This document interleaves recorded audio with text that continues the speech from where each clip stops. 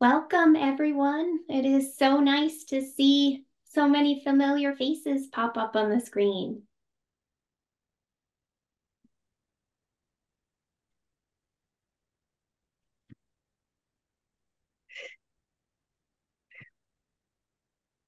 Hi, Dr. Preston. Hi, hi, Maggie. Hello, Maggie. Hello. Welcome to everyone. I know there are a few more people kind of entering the waiting room, so we'll give everyone a, a minute to get settled.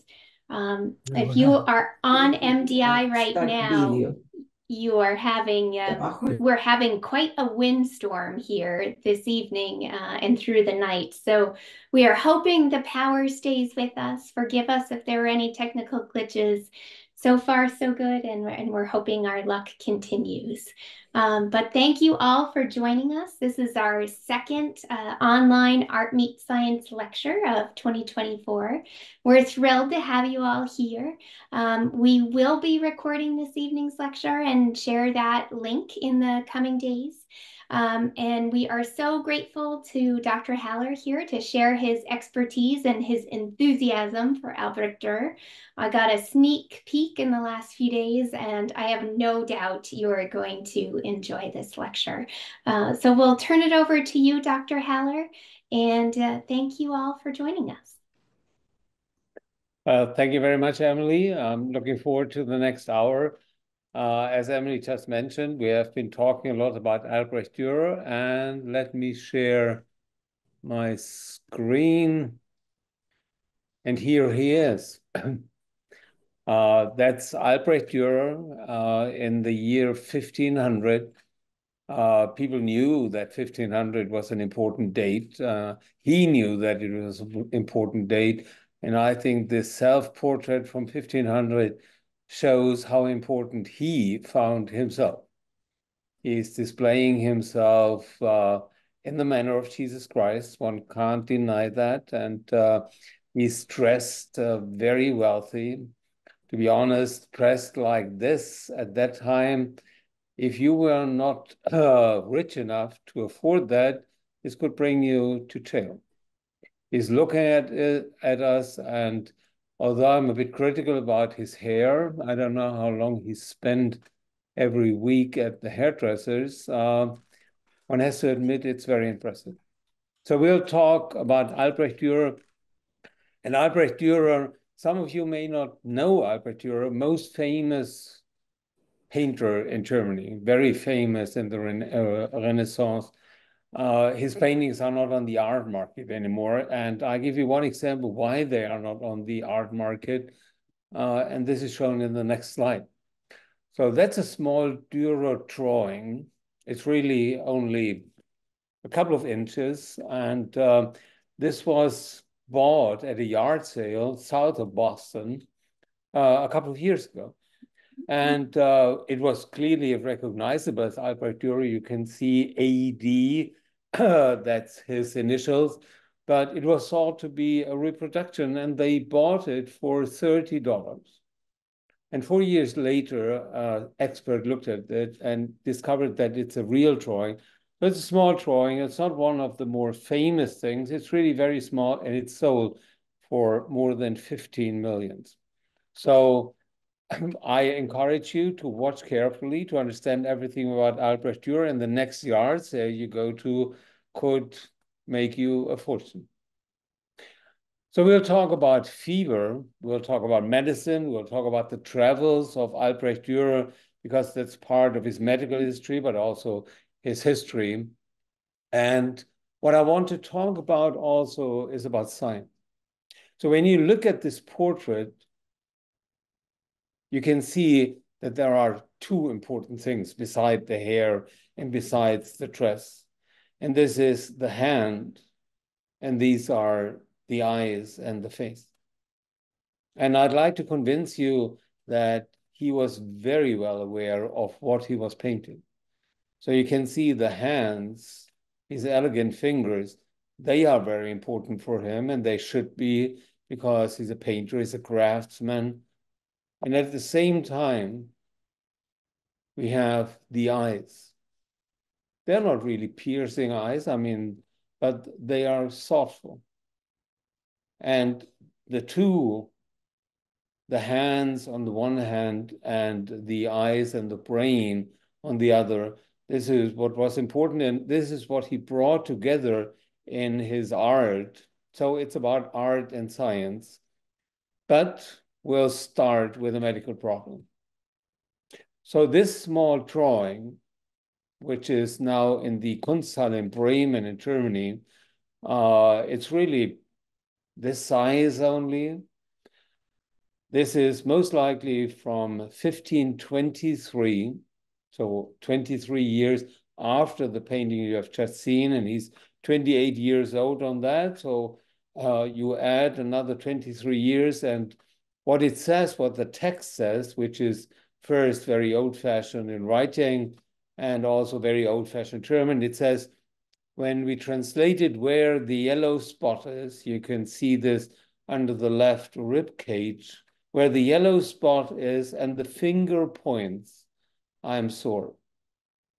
Now, this is what every doctor likes, you know, the patient coming in and not describing in complicated words, but having a small drawing, that's the problem. So when we look at this from a medical point of view, we have also his diary. And his diary adds to the soreness. And it says, during the third week after Easter, I was very weak and I had terrible headaches. So now we have a sore spot under the left rib cage. This is the left upper abdomen, and we have headache and weakness.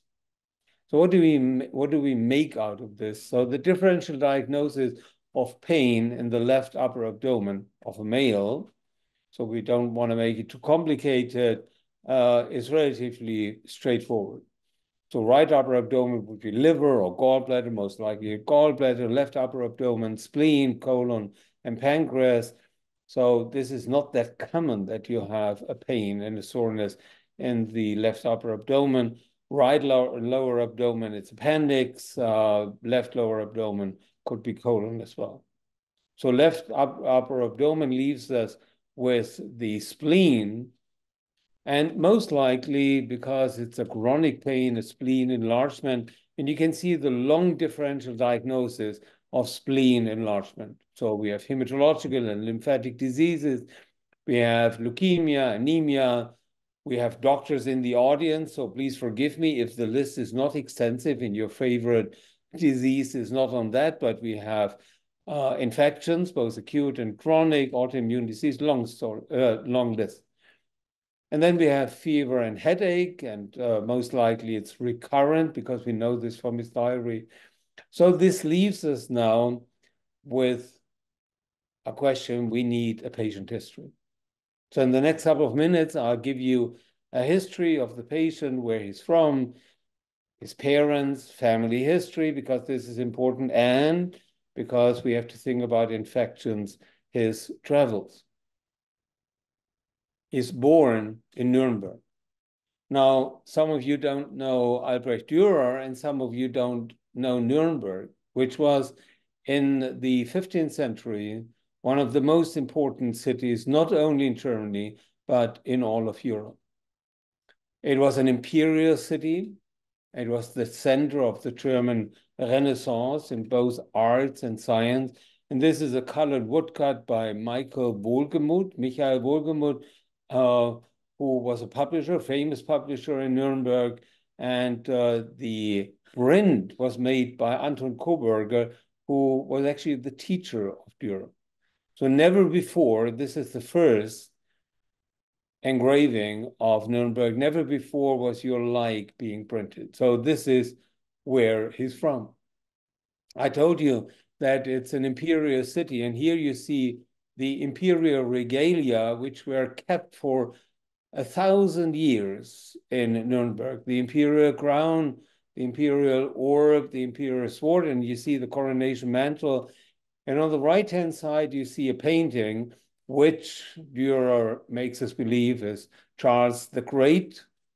But obviously it's an invention, but dressed in the imperial regalia And everybody in Nuremberg knew about this, and this is what made the city important and made the inhabitants important.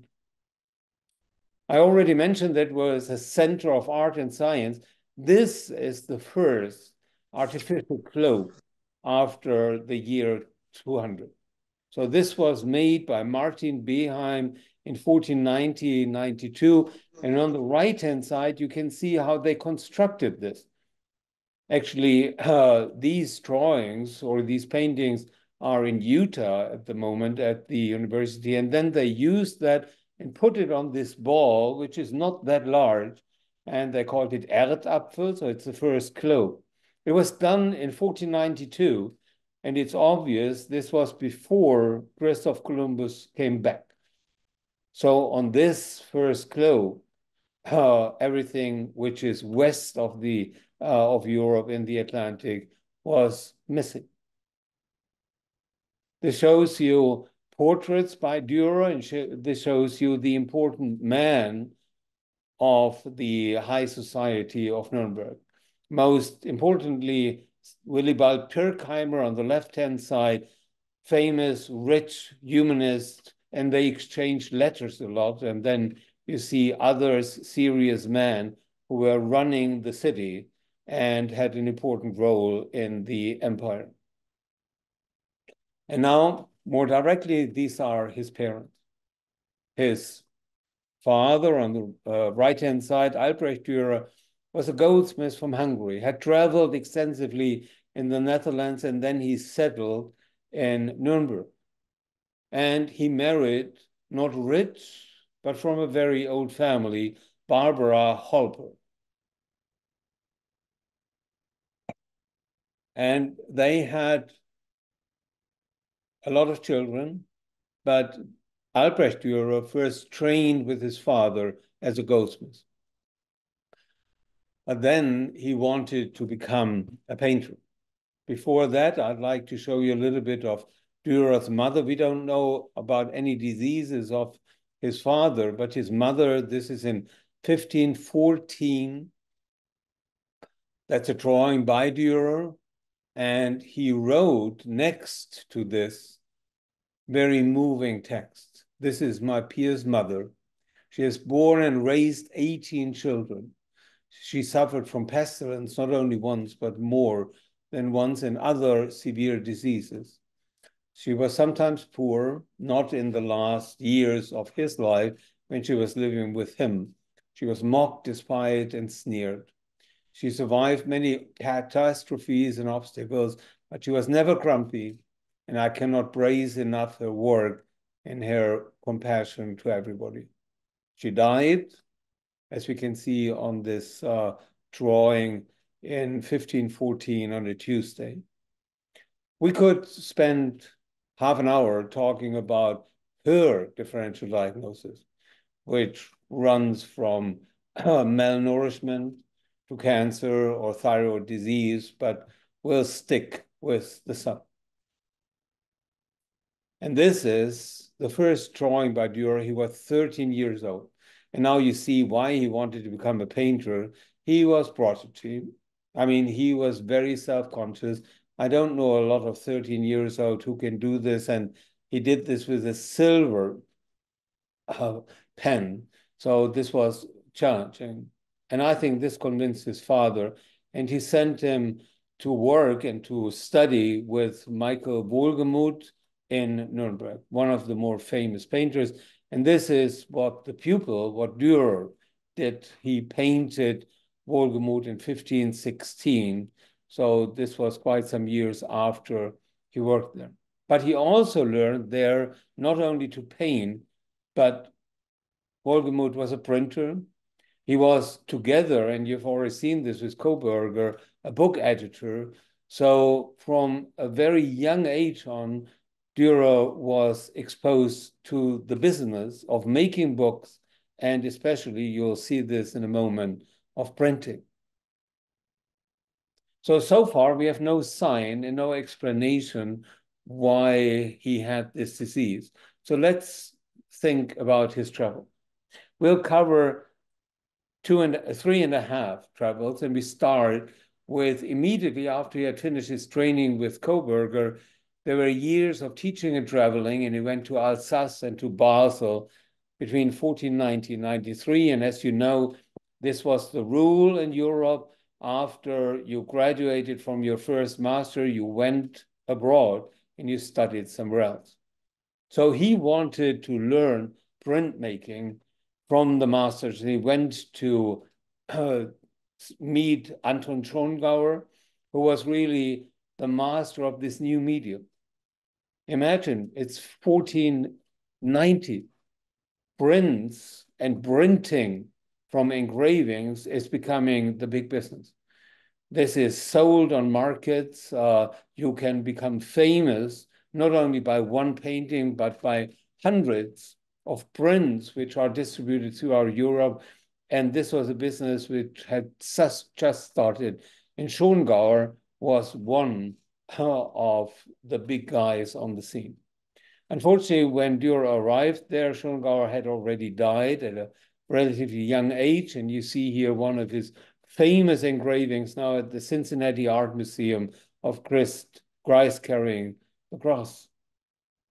He then went, after he had studied and looked at all the engravings which his son still had there, to Basel. And there he worked with a bookmaker. And this is a very famous book, The Ship of Fools, edited by Sebastian Brant in the 1490s. And Dürer added woodcuts and he was involved in the making of this book.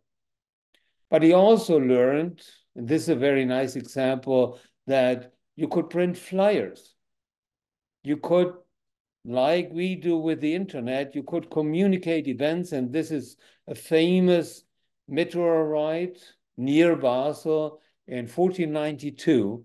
And they printed this. There were leaflets out there. There were flyers distributed. Some of them were colored. And this left a huge impression of nature and of the wonders of nature in Dürer. And even 26 years later, when he did one of his famous engravings, the Melancholia, you, uh, you can still see that the meteorite, the comet of Ensisheim, had an impact. This is a self-portrait, his first in oil, which is now at the Louvre and Paris, uh, while he was traveling. It may have been sent uh, to his future wife because while he was away, his parents negotiated for him to marry uh, this person. This is the one drawing we have from him. This is called My Agnes. So he married Agnes in 1494. He not built the house, but moved into this house in Nuremberg where you can still go. And down below, you can see this is where his shop was. And uh, now it's the Dürer Museum in Nuremberg. But immediately after that, he went off. He had been traveling for three years, and uh, it may have been because of uh, pestilence in Nuremberg, or he just wanted to travel. He went to Italy. So I still consider this years of teaching and traveling, gap years of him. It was a short trip, but for the first time ever, he did watercolors from nature.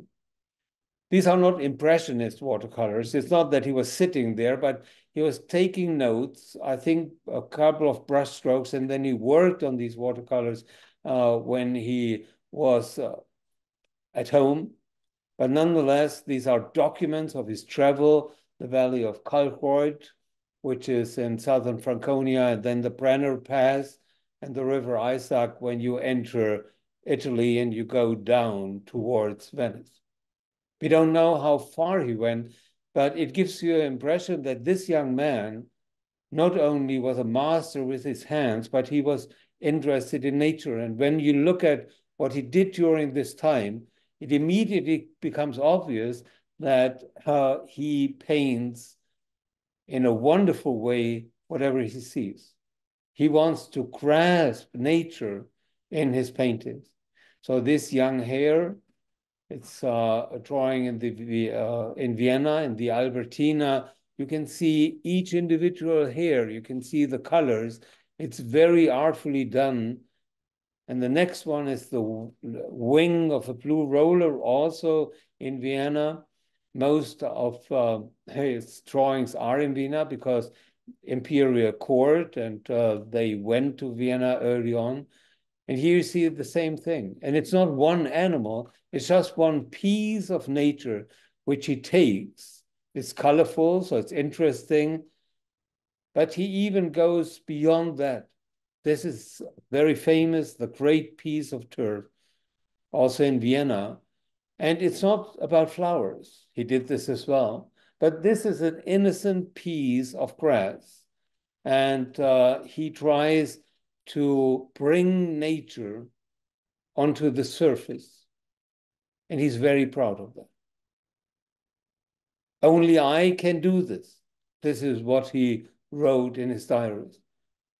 So these hands he is very proud of. And to be able to mimic nature and to even be better than nature, that's the first steps of his career. He then went back to Nuremberg and then he established himself in Nuremberg. He had to earn money. He uh, wanted to build a family. They never had a child together, but he worked hard. And this is what he looked in 1498. This painting, self portrait, is now in the Prado. And it also gives you an impression of what Dürer was like. So, like all self portraits, it's about him and himself. When you do a self portrait, you don't have to mimic something else. You are painting about yourself. And we have still the same face, a bit older. He's still very proud of his hairs, but now it's also very fashionable. You look at the cap, you look at the colors, you see that he must have spent some time uh, with a tailor. You look at the shirt he's wearing, uh, and uh, this is all of the most delicate quality, not to forget the gloves he has, which are of the softest leather.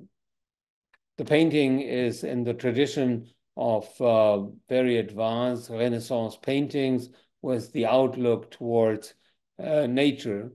And same thing, he's painting their real mountains and I think this is a memory of his travels to Italy. But he became famous not only for his paintings, but for his engravings and the prints. This is one of the first books he edited. These were picture books from the book Apocalypse, not Apocalypse Now, the four riders of the Apocalypse. And he not only sold these books at a very high price, but he went to markets, his family, his mother, his wife went to markets and they sold these prints. And these prints made him famous. You can see Albrecht Dürer, AD, down below here on the four riders of the apocalypse. And some of you may remember our exhibition, which is still up in MCBI at uh, Mount Desert Island. And we have a modern artist using the four riders of the apocalypse in a very modern piece of art, which we contrast with our science at the Institute. Another wonderful example of uh, a copper engraving is the Hieronymus. And you can appreciate uh, what a master of engravings Dürer was when you look at the texture of the animals. You can differentiate between uh, the lion and the dog. Look at the light, look at the reflections, what you can see on the walls, the shadows and the light, and you can differentiate easily between, between what is wood and what is stone. So to do this, and I'll show you here one example how you do these engravings, you need hands and you need a very good understanding of what you're doing. So it helped that he trained as a goldsmith, so he knew how to use these tools. But he was the absolute master in these engravings, and this was accepted all over Europe. This shows you Adam and Eve, and we'll come back to this later on. Uh, and this is also masterfully done. You have Adam standing there with a twig in his hand and a parrot up there. It says, Albertus Dürer Noricum faciebat in 1504. So this means made in Nuremberg. And you have Eve on the other side with the apple. And then you have animals, and I'll come back to the animals in a couple of minutes there. But, and this is important, now he was not only interested in making these engravings, his interest went beyond that. He wanted to understand what kept this all together. He wanted to understand the proportions. He wanted to understand what's behind the surface, which he so masterfully uh, could do. So he started with uh, working on proportions and uh, he got interested in that as others did. And you know, the most famous example, and this is the Vitruvian Man of Leonardo da Vinci. So finding the basis of this all, not only depicting nature and mimicking nature as beautifully as possible and as masterfully as possible, but also to understand what's behind it. What are the underlying principles? And this makes him not only an artist, but also a scientist. This is what we actually do is when we do experiments to try to find out what are the mechanisms behind it and what are the rules which regulate, we do mostly molecular and genetic uh, gene interactions, and they wanted to know what, how is the human body built. So he went back to Italy. That's the second journey we'll look at. He went first to Venice, most likely, as you can see here, he was in Bologna. We'll talk about this in a minute. And perhaps he went to Rome, but we have no documentation of that. So Venice at the time Nuremberg was important in Germany, one of the major cities in Germany, but uh, Venice beat it all. Venice, uh, on the crossroads between the Orient and Europe, everything which was coming in from the East, from India, from China, went through Venice. So there was a lot of richness, there was a lot of culture, and you can see how lively it was, and you can see paintings on the left-hand side. You see Titian, the Assumption, in the Frari Church, one of the largest paintings which were made at that time. And then on the right-hand side, you see where the merchants from Germany, and where all the Germans met, and this is the Fondaco dei Tedeschi. This is where the German foundations in Venice was, and this is where it went. One of the reasons he went there, and in the middle you see the Doge of uh, Venice. That's a wonderful painting by Giovanni Bellini. And Giovanni Bellini at that time was the most famous painter. And Dürer was very happy that Bellini not only acknowledged him as uh, an artist, but praised especially his engravings a lot. But he first went there, very modern, because of copyright problems. His engravings were so popular and they were so expensive that other painters, other engravers actually used this AD, Albert Dürer, and used it in their prints and sold them for more money. And he was furious about that. He was always interested in money, as we'll see. He needed to earn money.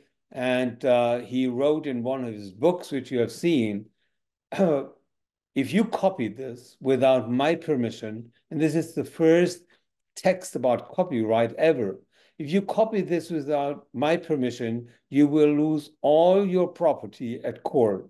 So I warn you, don't do it. Interestingly, one of the engravers in Italy who had stolen his monogram is very famous in its own right. And uh, that's uh, the engraver you can see on the right-hand side. He was the engraver of Raphael. His name is Raimondi, and Raimondi couldn't resist using AD in his own engravings to make them more expensive. So Dürer went there, he went to court, he won in Venice, which is not easy to win at court in Italy when you're coming from Germany. So that was one reason he went there. Here you can see the difference in uh, clothing between Nuremberg, that's on the right-hand side, and Venice, and Venice was very elegant. It's also famous or infamous that more than 11,000 prostitutes were living uh, in Venice at that time, so it was a fashionable city. You see a famous Giorgione, which was painted around the same time, and so this tells you what the artistic scenery was like. And Dürer wrote letters, which is very interesting. So uh, he exchanged letters with his friend Willibald Pirkheimer. Willibald had actually studied in Padua. So he liked Italy a lot and he encouraged Dürer to stay. He wanted him to buy books. He wanted him to buy jewelry. So we have a very rich uh, compilation of letters. And you can see here Venice, April the 2nd. Everybody is very supportive, and I'm highly estimated. Most of the other painters in Venice are jealous. And then he was jealous of the other painters, and he wanted to make paintings there as well. And then August the 18th, same year, I've quieted all those who said I'm mostly an engraver. Now they all talk about the beautiful colors I'm using and that they have never seen more beautiful. And this is the painting he made for the Fondaco dei Tedeschi, which I've shown you. This is the so-called Rosenkranz altar, which is now in the National Gallery in Prague. You can easily see how impressed they were by the colors uh, Dürer used in this wonderful painting. And then he wrote October the 13th, 1506, I plan to leave in 10 days. Before that, I will go to Bologna to meet somebody who can teach me the secrets of perspectiva. Here I'm a gentleman, that's a famous sentence in his letters. At home, I feel like a nobody. So he went to Bologna. And this or these are the people he met in Bologna. That's a painting by Jacopo Barbari. He is Italian. He worked for a while in Nuremberg 10 years before. He also worked in Dresden and uh, Saxonia, where he was hired. And he supposedly knew all the secrets about perspective and about geometry, but he had learned it from the scientist, and this is Luca Pacioli.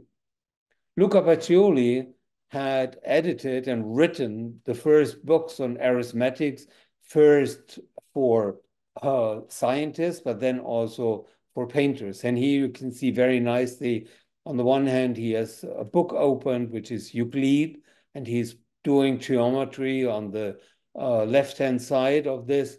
He's wearing uh, the cape because he's thinking and he looks at this wonderful crystal cube, which is of a, a complicated structure, and you can see other structures nearby. The red book is his own book, which he had just written. So he met most likely with uh, Dürer, and he introduced him to his way of thinking about geometry and about the basis of painting. This shows you his book, Summa de Arithmetica, Geometra, uh, Geometra Proportioni and Proportionalita. I can't even pronounce that. Uh, and it was uh, 1487, 1494 when it was edited. What's very interesting, these geometric figures, and here you can see quite a few of them, they were made by Leonardo da Vinci. So Luca Pacioli and Leonardo, they were together at the court uh, in Milan. they had serious discussions. We have documents about that, about painting, about uh, geometry, about the secrets of perspective. And this is what Dürer learned there. And you can still see eight years later, one of his most famous engravings, the Melancholia, where he has all these geometric forms there. The ball you can see here, the complicated geometric structure and tools for that, and the angel brooding about all these problems, scientific problems, uh, as a patron. When he came back to Germany, when he came back to Nuremberg, he still was very active with engravings and with paintings, not so much paintings, to be honest, but more engravings, and he was working on geometry. And then basically for the next 15 years, he was editing and working on two books. One treatise on measurement, which was just before he died, uh, sold in Nuremberg. Uh, very nice title in Germany, Unterweisung der Messung mit dem Zirkel und Richtscheit in Linien, Ebenen, in ganzen Korporen. Very old-fashioned Germany, but you can see that he became a scientist. This is also from the same book. So he where he was teaching methods how to use this in practice. So it's not only a very learned book, but it's also a very practical book. It's basically like a textbook we have in cell biology, which tells you exactly how to do your experiments, not only explaining the cell biology of what you're doing, but also giving you advice how to set up your experiment.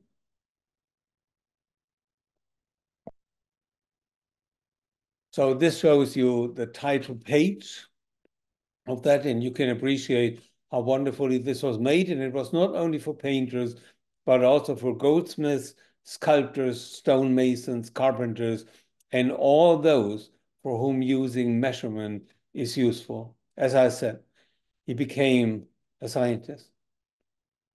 And the second book is the book on proportions, including uh, the four books of human proportion. And this is what he was interested there.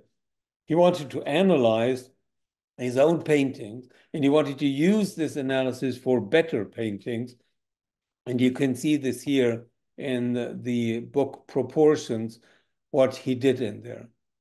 So this was a lot of learned geometry, and then he applied it to human proportions you can see how near this is to what Leonardo did with the Vitruvian Man, where we have only one example. And this by Dürer is much more detailed.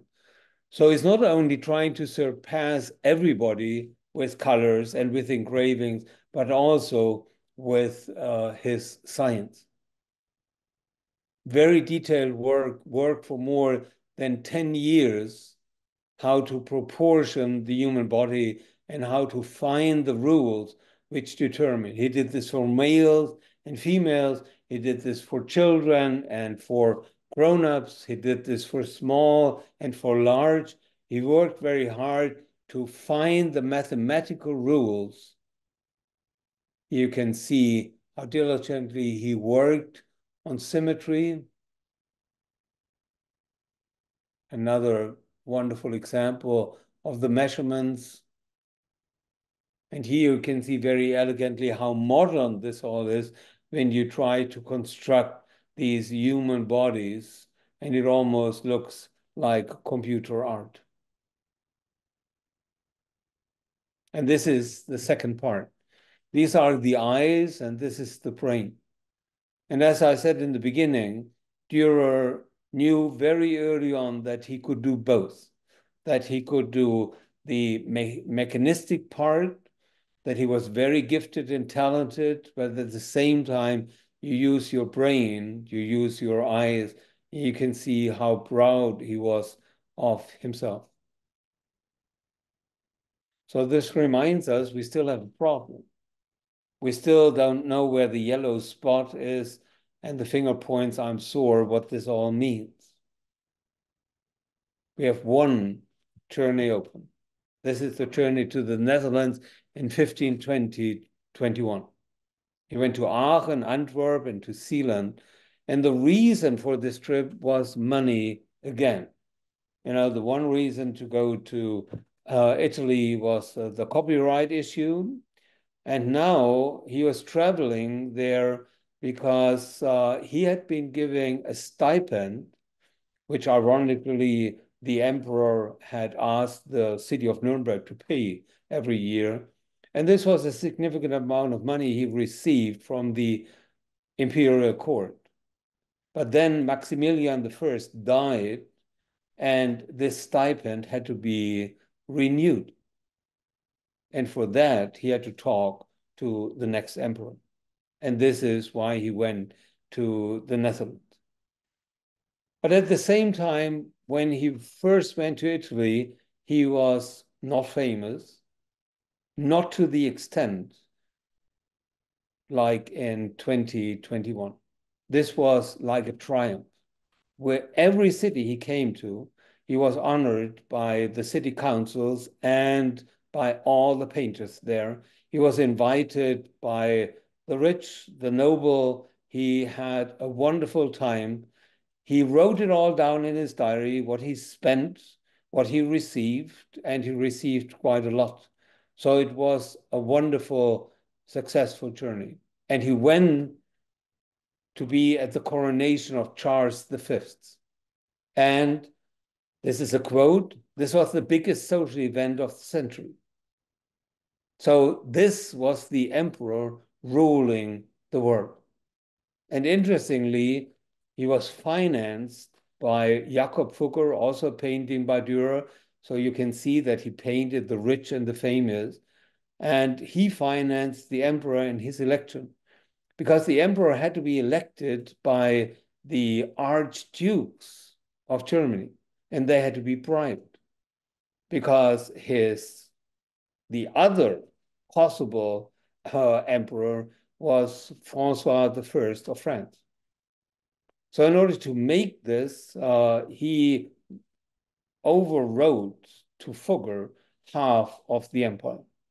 And the empire was huge. This shows you the empire of Charles V. He said, the sun never sets in my empire. And you can see on the right-hand side, Europe, and everything which is not blue or green belonged to Charles V, and he was the emperor of that. And on the left-hand side, you see what they call the New World.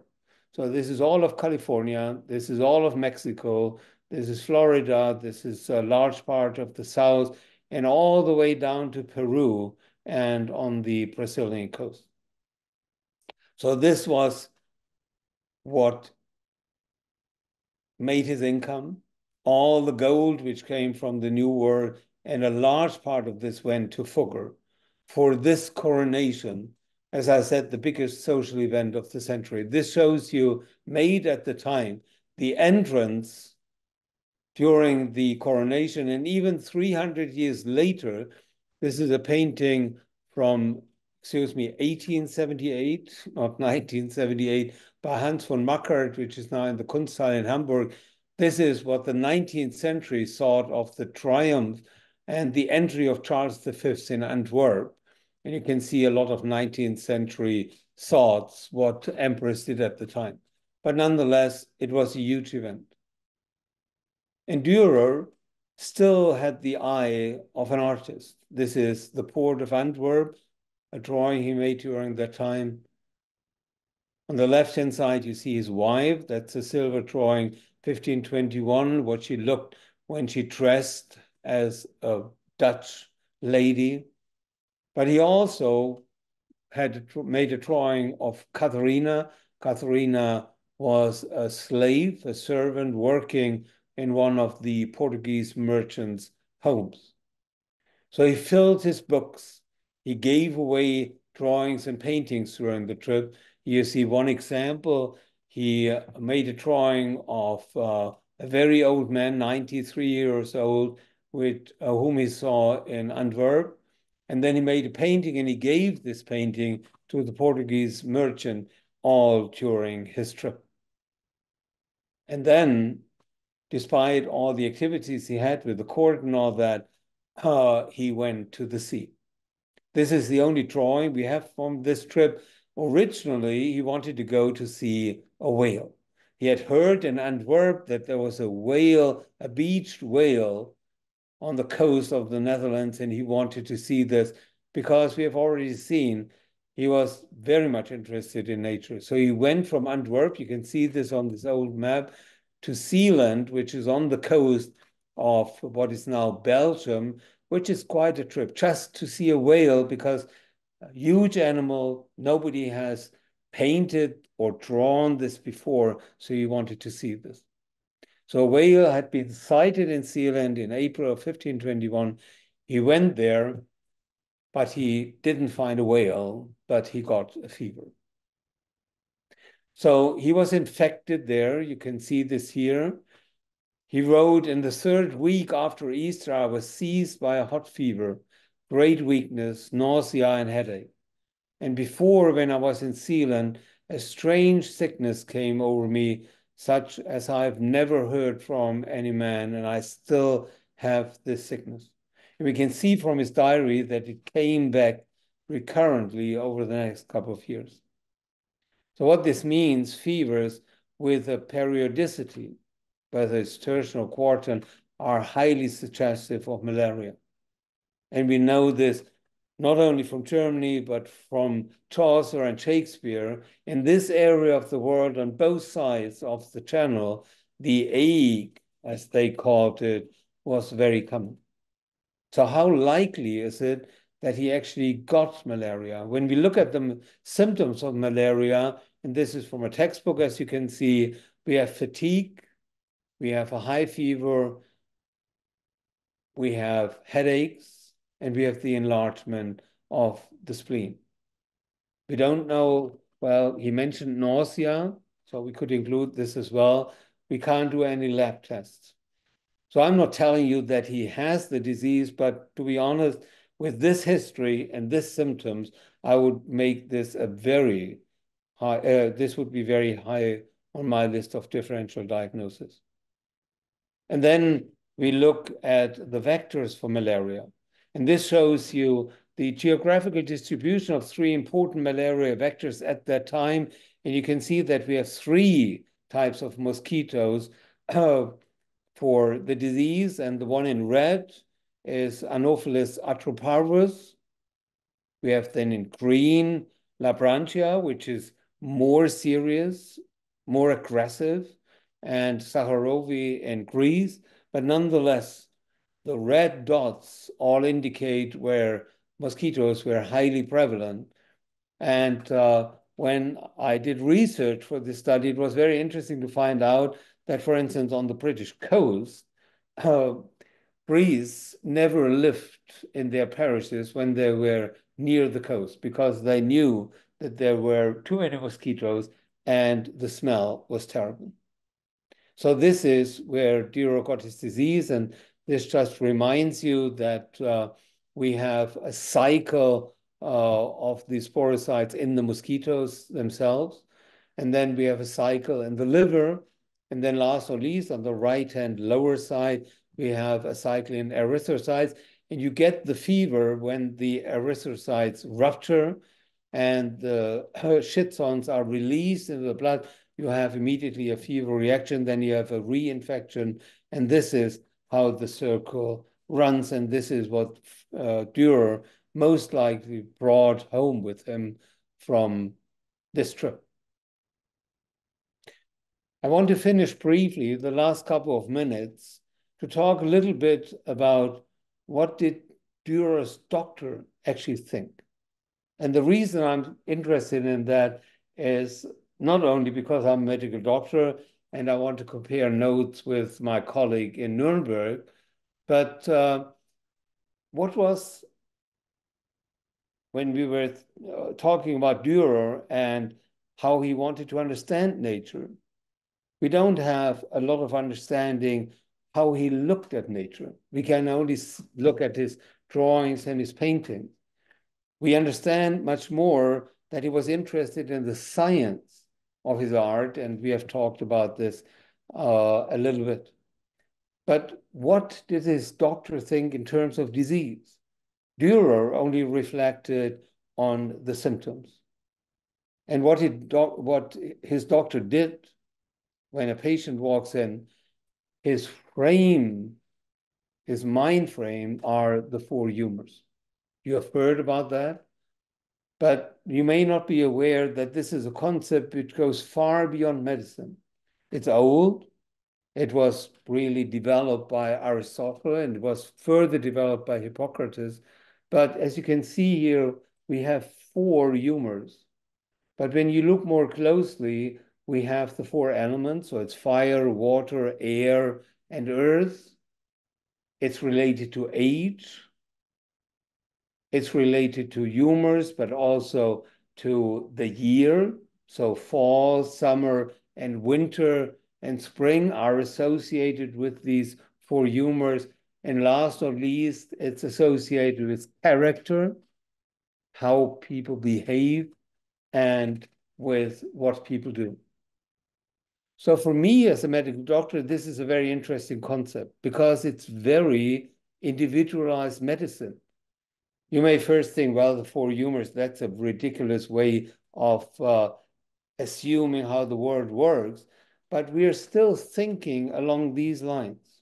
So it's not tissues, cells, and genes, but it's organs and the balance of humoral factors in the individual patient. And you may not be astonished that a Harvard professor in 1997, neurology, actually said, well, let's go back to this whole concept because when I measure brain waves using these categories, I get clear phenotypes.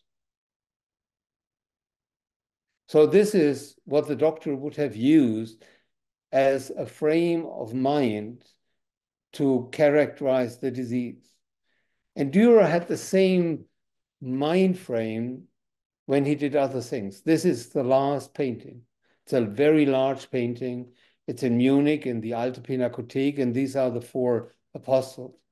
It has a lot of religious meaning also because Dürer gave it to the city of Nuremberg for free.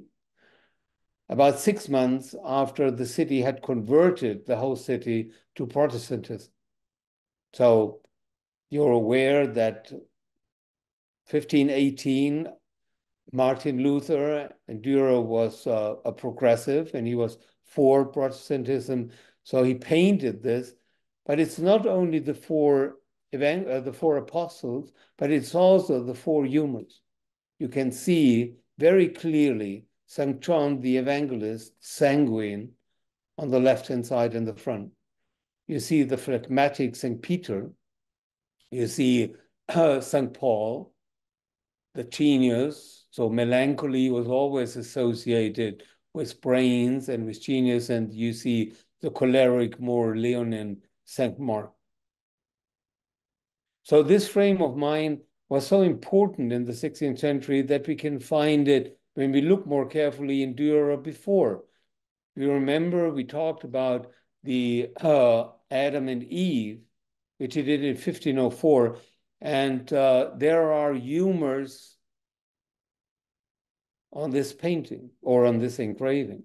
And these are the animals. And the story is that these humors were totally in balance in paradise, and only when they shared the apple, then it all got out of balance. And I'm, whoop, I'm missing one here. So I have to explain this using words. You have animals there, you have the cat, and the cat is sanguine. Uh, uh, sorry, the cat is uh, leonine, so it will catch the mouse and eat the mouse. So it's uh, uh, then we have the hare in the background, and this is sanguine, uh, a lot of sex, and then we have the elk, and we have the ox, and the ox is phlegmatic, and the elk is the symbol of melancholy. So I think this is not only talking about these engravings, it also gives you a view on what the frame of mind was for Dürer, for his doctor, and it reminds us when we look at our science that this is not self-evident, that we have to ask ourselves, what's our frame of mind when we do genes and we do cells and we do tissue? And with that, I'd like to finish. I'd like to finish with his most famous piece of art. In art history, no engraving, no painting has been more written about than this melancholia from Dürer. It's so full of symbols. It's so full of unexplained meaning. And you have seen a little bit of what it meant for Dürer. You have seen the comet I talked about. You have seen the geometric structures we have here. We have talked about art, so you can see the tools down there. We have talked about mathematics, and you can see the magic rectangle right behind this angel.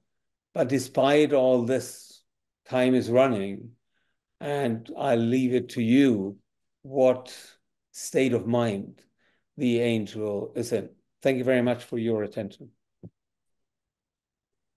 Thank you so much, Dr. Haller. That was fantastic. You never cease to amaze me. I, I, I, even with a background in art history and having been through exams on these pieces, I learned something new every time. Um, that was phenomenal. Thank you so much. Uh, does any, if anyone has any questions, please feel free to unmute yourself and you can ask a question directly or use the chat function, raise your hand. Uh, we would be happy to take a few questions if you have any. Hermann. Hi. Uh, this is Dave Dawson. Yeah. Um, that was brilliant, by the way. Um, vielen Dank. Vielen Dank. I wonder, uh, since um, Dürer traveled uh, to uh, the Netherlands, did he uh, implement any of the uh, sort of optical gadgets that the Flemish painters uh, used, you know, to um, understand and correct for perspective and that sort of thing? Yeah, uh, that's a very interesting question. Uh, the instruments they use in the Netherlands, uh, especially for perspective and for camera obscura and things like that, is a little bit later. We don't know whether that early in the 16th century it was already used. You know, the lenses, the first uh, microscopes, that was all uh, developed around 1580. So it's about 70 years later than when Dürer traveled there. I think he used some of the techniques, and you can see this uh, in one of his books. If I go very briefly back, you can see this here. You know, yes. Yes green, which is in between, which then helps to make these uh, paintings more perspective. I think he used that, so that was in use in Nuremberg and in the Netherlands. It yeah. may be that uh, he learned more things, but we have no documentation of that. Yeah, great, thank you. Hermann, I have a question. Can you hear me? Yes. yes. Yeah, this is Andrew Trotter. Uh, it seems like um, in this era and Dürer and also the the doctor that you discussed were uh, working. They're trying to establish ideals, idealized categories uh, that whether it's the body showing how they uh, geometric pure geometry would be uh, help shape the body or uh, the that uh, diagram of the humors would sort of break out everything but um, and this was getting breaking. Uh, this was an advance on, you know, believing in magic and in um, other uh, earlier kinds of way of analyzing, you know, human ills or the human body. But now we're sort of getting, you know, in this day we are getting toward back to kind of holistic uh, holistically looking at the body and looking at ambiguities again, embracing ambiguities that some um, kinds of uh, immune, uh, immune, immune problems and other things that are they're they're much more they're much less clear than what they seem to be going for Uh, do you do you agree with this? And and was this uh, uh, you know was this like a, a one swing of the pendulum and then it, it's maybe coming back the other way? Yeah.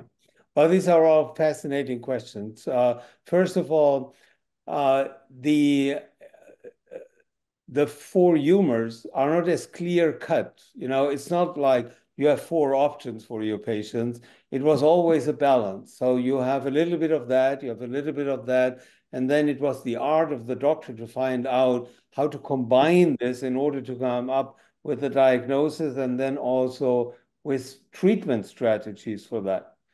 And uh, so uh, this is one part. But the other question is really what is the frame of mind for us?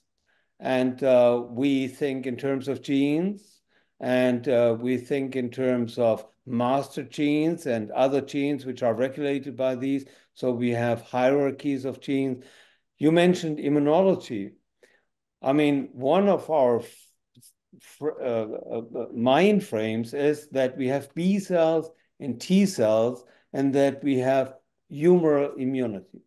so at the moment, we have three parts of that, and we are playing around with all sorts of very small scale research how to combine all this, but we always come back to the question, is it T cells or is it B cells or is it humoral factors?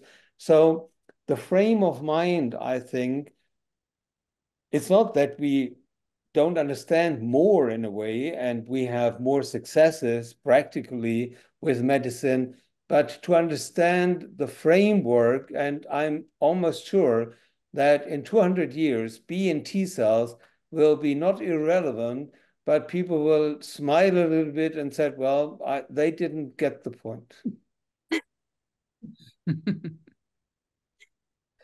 uh, and uh, I, I give you one example about humors. Um, I'm a nephrologist, and I have seen Susan Ferris on the call. There is there when we have patients with certain immunological problems, which we don't understand, one way to treat this is we take out all the serum and we replace it with what we think is better serum.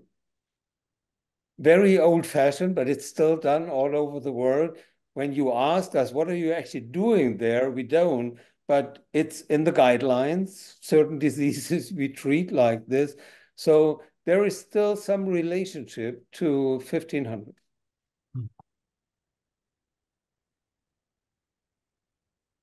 You know, Hermann, one might uh, look at um, the science around long COVID, uh, and that's about the state of the art uh, right now, if you follow it. Uh, it's not much beyond the uh, four humors. yeah, that's true. I mean, what we need, one, I think one thing we can agree upon is that you need individualized medicine. You really have to listen to the patient. And we did this with Dürer. You know, we were going through all these travels just to find out the last travel. Uh, if he wouldn't have gone to Zeeland, he could have lived for another 40 years uh, and become 93. But he wanted to see the whale mosquito. You have to look into patient histories and you have to do individualized medicine. Hermann, can you hear me? Yes. Yes. Emily, can you hear me? Yes, yes, Dave, we can hear you. I just wanted to show you, I can't see my picture on the screen for some reason, but we have a Dürer print. Can you see that? Wonderful. Very oh. nice. I should have used this one. I would have. We've had that. We've had that for about 60 years.